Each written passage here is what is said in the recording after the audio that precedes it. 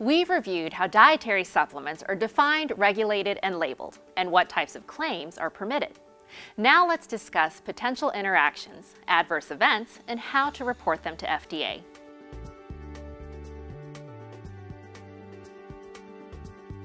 FDA strongly encourages you to talk to your patients about the dietary supplements they are taking. This is important for many reasons. First, dietary supplements can interact with drugs that you prescribe or recommend to your patients. Certain dietary supplements can alter the absorption, metabolism, or excretion of a medication, which can affect its potency as a result. Combining dietary supplements with certain prescription and over-the-counter medications could have dangerous and even life-threatening consequences. For example, the herbal supplement St. John's wort can reduce the efficacy of some medications for heart disease, cancer, HIV, depression, seizures, and birth control. Certain supplements can also interact with the anticoagulant warfarin, including vitamin K, high doses of vitamin E, and ginkgo biloba and others, such as vitamin C and vitamin E, might reduce the effectiveness of some types of cancer chemotherapy. Secondly, some dietary supplements can interfere with laboratory tests, causing incorrect test results which may go undetected. Healthcare professionals should ask what dietary supplements their patients are taking when considering lab work as a diagnostic tool. For example, Biotin is a water-soluble vitamin often found in multivitamins, prenatal vitamins, and dietary supplements marketed for hair, skin, and nail growth. FDA is particularly concerned about biotin interference causing a falsely low result for troponin, a clinically important biomarker that helps with diagnosing heart attacks. An inaccurate result could lead to a missed diagnosis and potentially serious clinical implications. While biotin is just one example, it is possible that other dietary supplements could also interfere with diagnostic tests.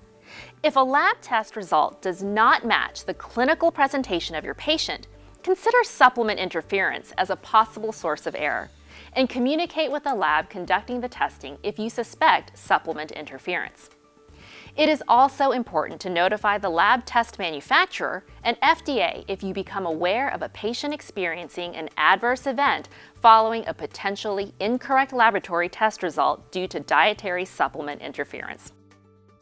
In addition to potential drug and laboratory test interactions, it is important to advise your patients that taking too much of certain supplements can have detrimental health effects. For example, Consuming more than 100% of the daily value of certain vitamins and minerals, such as calcium, iron, vitamin A, and vitamin D, from supplements in addition to food sources that contain these nutrients may be harmful to your patient's overall health. This is an important point to stress with your patients. More is not necessarily better. And finally, Products containing hidden pharmaceutical ingredients are sometimes falsely marketed as dietary supplements. These are among the most concerning products sold as dietary supplements because they significantly increase the risk to consumers. Common hidden drug ingredients include sibutramine, sildenafil, tadalafil, and phenolphthalein.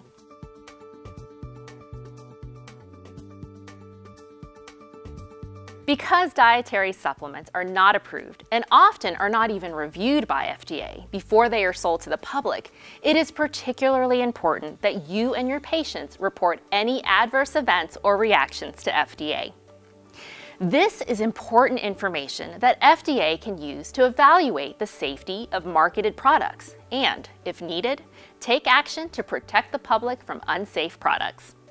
You should notify FDA if you suspect that a dietary supplement may have caused an adverse or unanticipated reaction for your patient.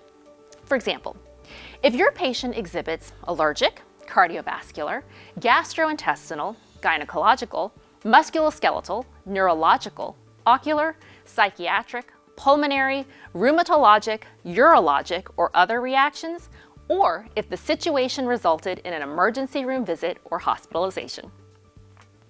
Although dietary supplement manufacturers are required to report serious adverse events to FDA, the agency encourages you and your patients to report any adverse reactions directly to FDA.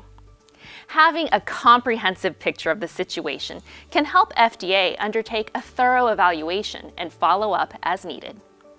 In some cases, a single adverse event report can be very helpful to FDA in investigating and taking action to protect public health. If you believe that a dietary supplement may be causing your patient to experience an adverse reaction or illness, first, tell your patient to stop using the product. Then, notify FDA by submitting a report through the Safety Reporting Portal at www www.safetyreporting.hhs.gov. Your reports are crucial to help FDA better protect the public from unsafe products.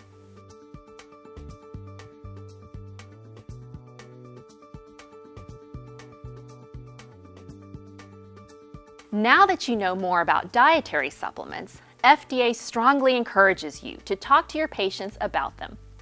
During your review of their medical health history, ask your patients about what supplements they are taking, how much, and if they have experienced any reactions.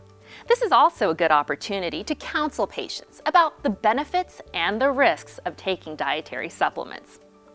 Although some supplements can help ensure patients get enough essential nutrients the body needs to function, remind your patients that dietary supplements cannot replace a healthy diet and should not be used in place of medications.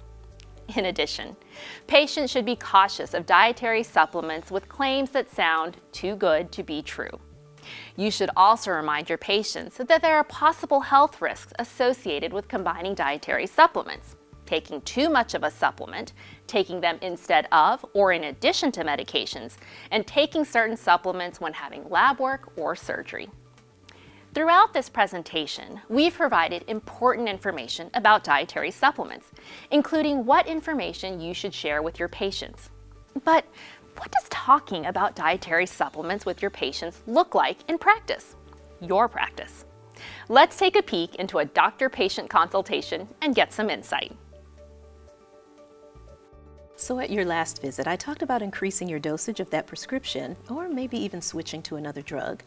Before I do that, I wanted to ask if you're taking any dietary supplements. Well, I've been taking a multivitamin for a while and sometimes I take melatonin just to help me sleep. Uh, oh, and I take calcium uh, because dairy does not always agree with me. Did another doctor recommend that you take these? No. Well, can you tell me how much you're taking and how often? I take the multivitamin and calcium every day. I, I don't remember how much, I just follow the directions on the label. I just assume that's how much I should be taking, right? Well, it depends. But it's important for me to know how much you're taking. So when you get home, can you send this information through the patient portal? Sure.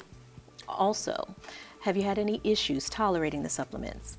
Or have you experienced any unusual side effects like a rash, coughing, dizziness, abdominal pain, headache, fever or hair loss? I don't think so. I'm just trying to improve my health.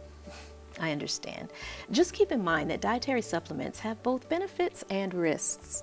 I sometimes recommend supplements for my patients who are not getting enough essential nutrients from their diets, uh, like the calcium you mentioned. But you have to be careful when taking dietary supplements because they can also be harmful. Some supplements can interfere with certain prescription medications and even over-the-counter drugs and some might have unproven ingredients or be falsely marketed.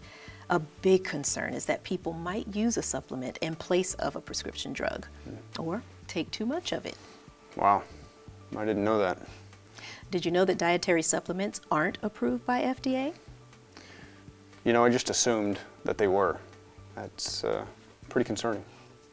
From now on, if you're thinking about taking a supplement, I'd like to discuss it with you first, especially since you're taking a few medications. And if you think you're experiencing any type of reaction to a supplement, stop taking it and immediately contact the office.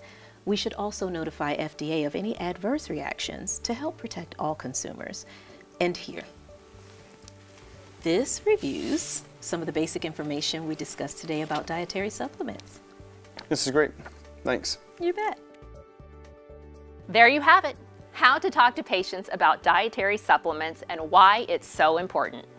For more information on dietary supplements from FDA and the National Institutes of Health, visit the FDA and NIH websites. On behalf of the U.S. Food and Drug Administration and the American Medical Association, we thank you for educating yourselves and your patients on this important topic.